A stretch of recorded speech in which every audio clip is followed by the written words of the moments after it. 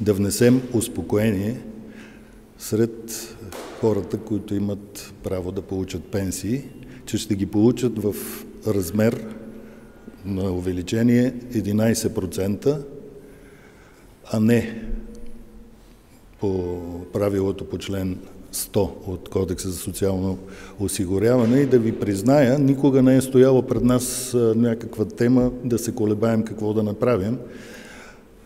Не знам откъде излезе, излезаха всички тия спекулации, но така или иначе, утре е на надзорен съвет на Националния осигурителен институт Представителите на изпълнителната власт ще подкрепят предложението, което ще направи социалния министр за 11% увеличение.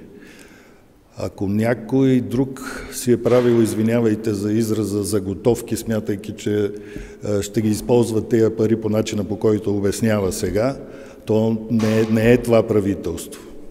Така че нека да бъдат спокойни пенсионерите ще получат 11% увеличение, до толкова доколкото разбира се зависи от представителите на изпълнителната власт, но аз предполагам, че и останалите едва ли ще имат нещо против, без въобще да иземвам функциите и да изразяват те своята воля. Може би ще се успокоят и, и тези, които внесаха целият този шум в, в системата. Надявам се да се концентрират повече в предизборната си кампания. Както разбрахте, утре има надзорен съвет от 10 часа на Националния осигурителен институт. На този надзорен съвет аз ще направя предложение за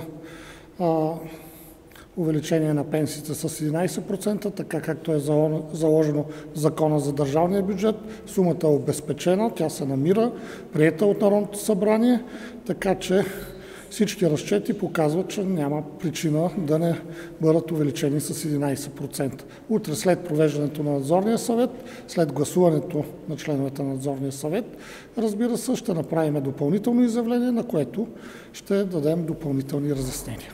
През 2021 година по същия начин, след изчислението по швейцарското правило, беше изчислено, че увеличението трябва да е в размер на 4,8%. Тогава пак по предложение на тогавашния социален министр беше, тъй като бюджета бяха заложени 5%, бяха увеличени пенсиите с 5%. Така че това не е прецедент. Надзорният съвет е органа, който определя процента и размера, така че няма прецедент, правено е и преди.